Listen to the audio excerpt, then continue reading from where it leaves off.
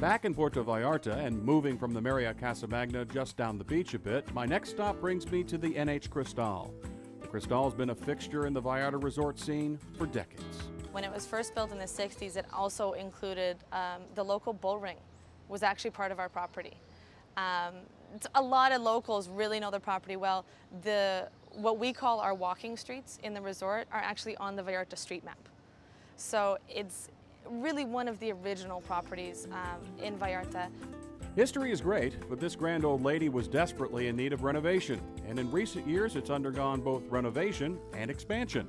Thanks to the new Grand Tower opened just last year, which features these deluxe rooms with marble floors and flat screen TVs, the NH Club Tower, with 128 total rooms and villas throughout the property, the NH Krystal now has more than 500 total rooms.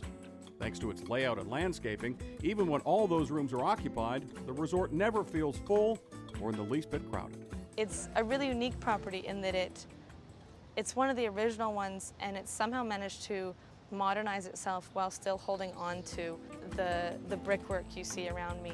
I always recommend it to people that if they like to go walking at night, they don't even have to leave the resort. They can just wander around and they're in gardens and, we've got butterflies flittering around us and things like that. So the, the landscaping is really outstanding, and one of the reasons for it is the age. These are mature plantings. Exactly. You don't have a five foot palm tree. You've got gigantic palm trees. I, uh, one thing that I really like is even from the, the rooms, a lot of people when they come to Mexico, they want ocean view. But even our non-ocean view rooms, you're not overlooking a parking lot. You're overlooking the whole resort. You, you're looking at the tops of palm trees and everything. So it's, it's a different type of property. Oh, and let's not forget about the spa. The Millennium Spa and Wellness Center is among Vallarta's finest. With five treatment rooms and seven jacuzzis, you can see why this spot is a popular one, especially around sunset.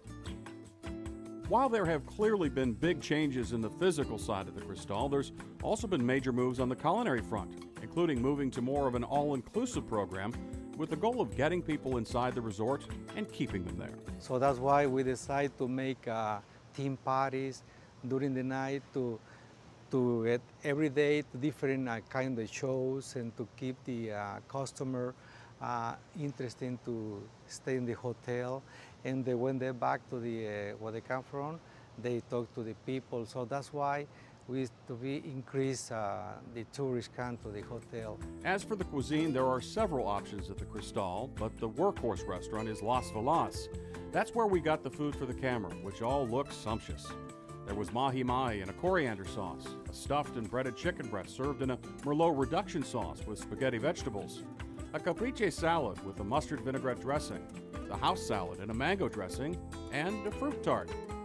But it's not just a matter of having good cuisine at the NH Krystal, it's also about coming up with innovative ways to keep guests happy, like the new Dine Out program. We know guests aren't going to want to eat in the hotel every day, even if we have four a la carte restaurants. We know that they're going to want to go out and explore, and we want them to see Vallarta. So basically, we made partnerships with about six different local restaurants, and our guests can make reservations, and then they can go and have dinner at these local restaurants, and it's still all included in their all-inclusive package. A real win-win, or win-win-win, for the Krystal, the local restaurants, and the guests. Why doesn't that surprise me? The NH Krystal, a beautiful setting with very good food, and that's a winning combination.